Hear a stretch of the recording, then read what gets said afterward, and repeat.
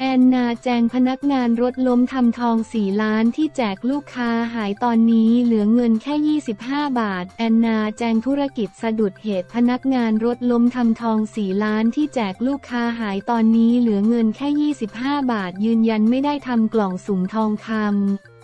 เมื่อเวลา 13 นาฬิกา 10 นาที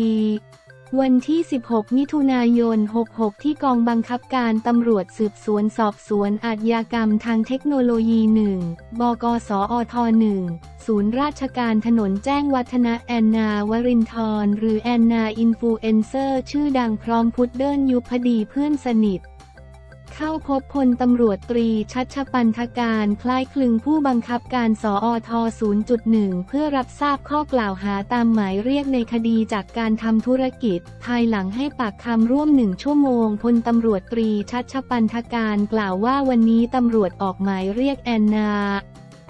มารับทราบข้อกล่าวหาได้แก่ ช่อโกงประชาชนและนำเข้าข้อมูลเท็จสู่ระบบคอมพิวเตอร์ จากการสอบปากคำทราบว่าเป็นคดีความเกี่ยวกับอาหารเสริมความงาม และธุรกิจที่แอนนาทำอยู่ เฉพาะบกสอทหนึ่งมีทั้งหมด 9 คดี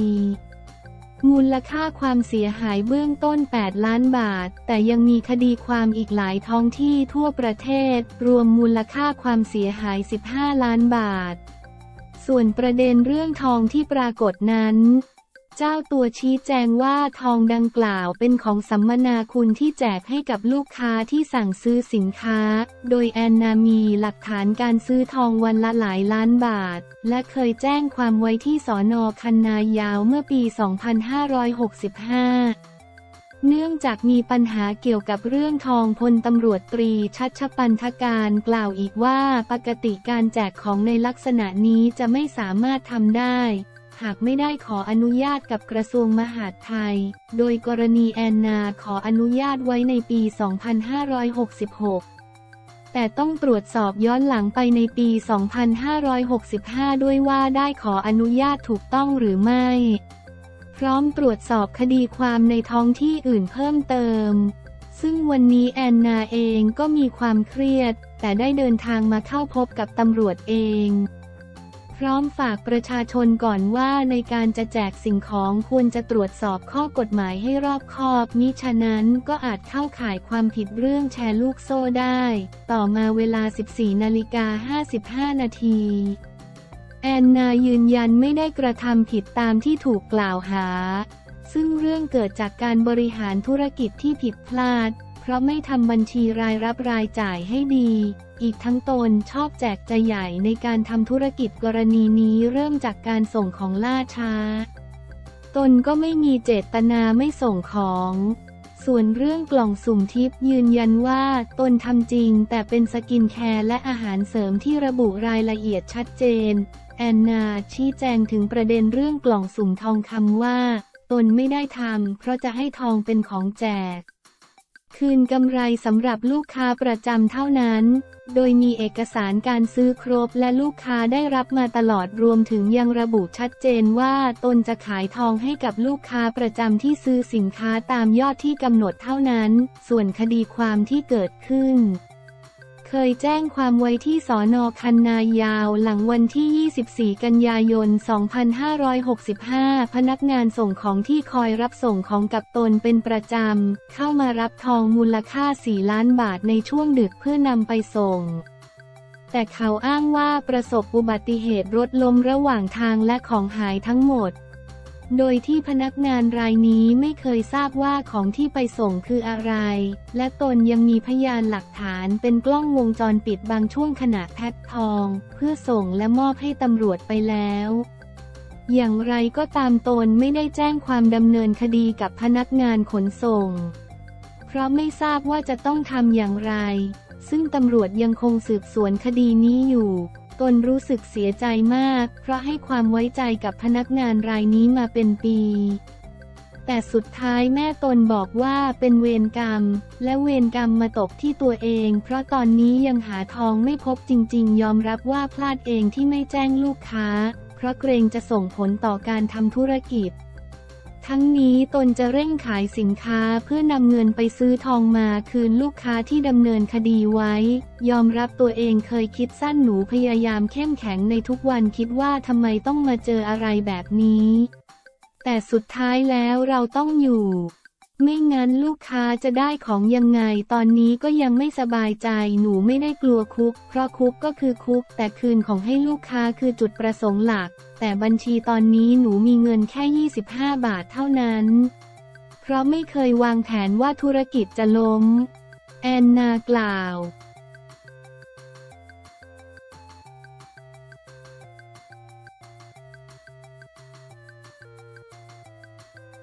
แพรวาโต้ปิดหน้าแฟน เพราะกลัวถูกขุดอดีต เผยฝ่ายชายเป็น introvert เปิดตัวว่ามีแฟนใหม่มาได้สักพักแล้ว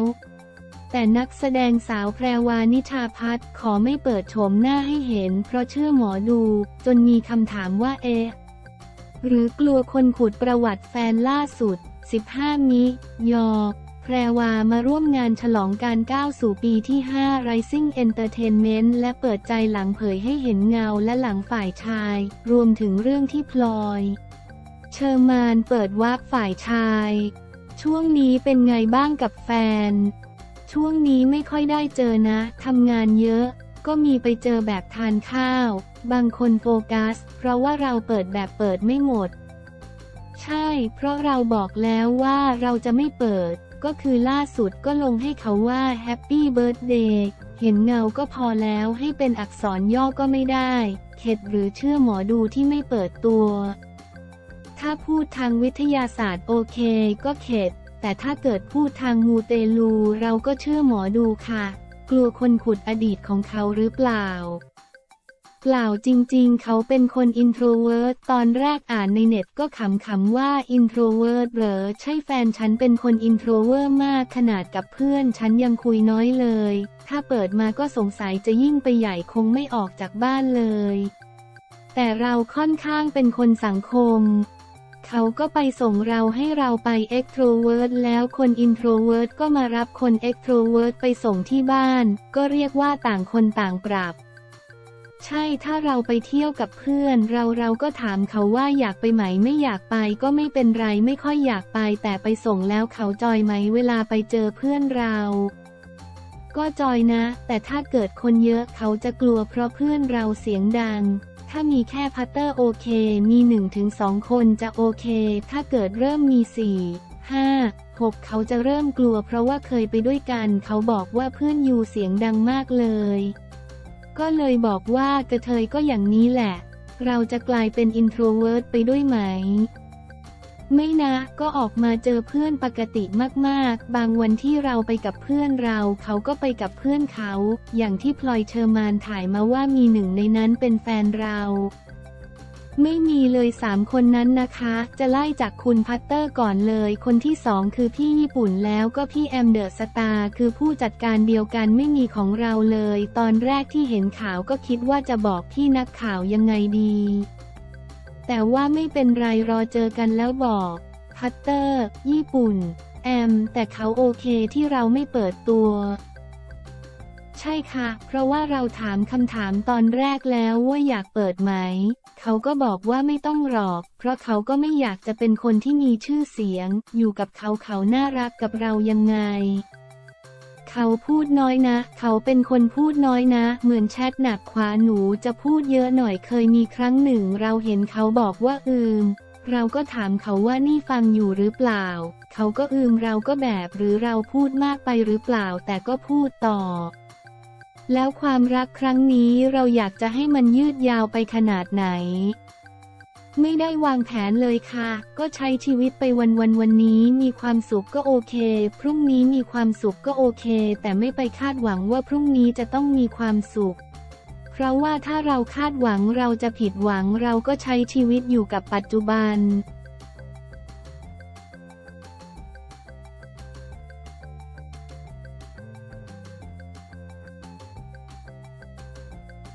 Yeah.